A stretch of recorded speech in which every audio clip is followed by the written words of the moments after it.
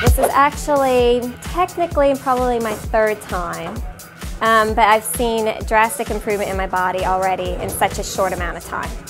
Um, definitely toning up my core, a lot of toning up in my arms and in my back. I did a lot of running and um, a lot of core bar classes but I feel that the workout on the Megaformers really give me a full body workout. So after I do a workout on Megaformers, I can definitely really feel it from head to toe on my body, whereas compared to maybe going out and running a few miles for the day, I don't necessarily feel that tightness and that soreness in my body the next day. Well, I'm definitely an avid runner and um, using the Megaformers, I found that because it is toning up my core and my bottom so much, that my running has become faster. I'm definitely a faster runner than what I used to be, and I can go farther distances. And I believe that it's in regard, it's due to the fact that I've been working on these megaformers. It's just toning up my entire body, which therefore is helping my performance with running to be that much stronger.